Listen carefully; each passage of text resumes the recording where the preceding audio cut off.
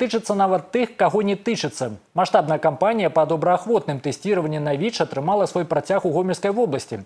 Пасля абласнога цэнтра эстафету прыняў жлобін.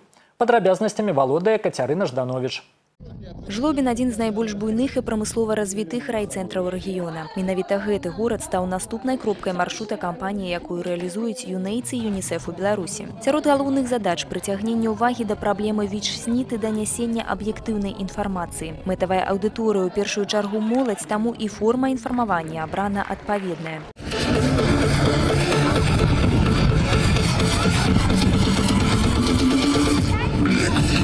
Акрамя непасрэдна арганізатараў, як і ў гомелі, так і ў жлобіне, свой заклік прайсці тэст на ВІЧ выказалі медыйныя персоны. Пасол добрай волі юнэйц, тэлевядучая Святлана Бароўская і асобы кампаніі, салісты групы Давіншай Дзяніс Дудзінскі і Кацярына Раецкая.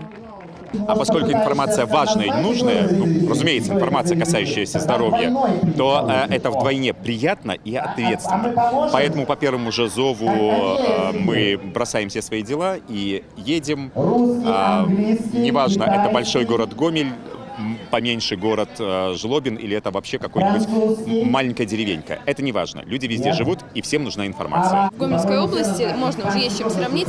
Э, большая обратная связь, и люди очень контактные, даже, условно говоря, отзываются Да. на анонсы в интернете, говорят, мы придем, мы придем, и мы понимаем, что, следовательно, информация пошла, она уже вот есть в массах.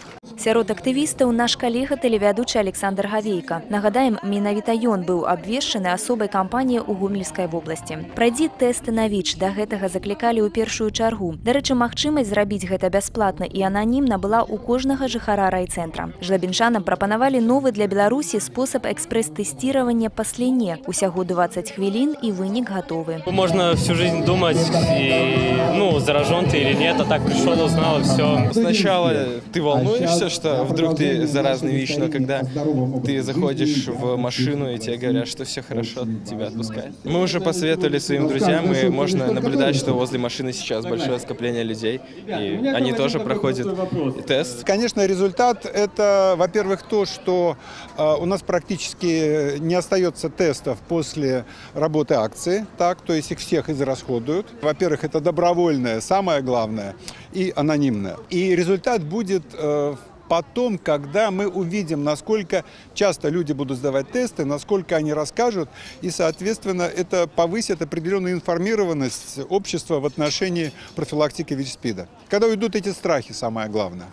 У гэты ж дзень у жлобіне адкрылася фотавыстава мост у будучыню. Яна распавядае рэальную гісторыю канкрэтнага чалавека, мінчанкі Тацяны Сямёнавай. У сітуацыі поўнай нарказалежнасці жанчына са станоўчым статусам ВІЧ прайшла доўгі складаны шлях вяртання ў нармальнае сацыяльнае жыццё. Кацярына Жданович, Сергей Лукашук, тэлерадыёкампанія Гомель са жлобінскага раёна.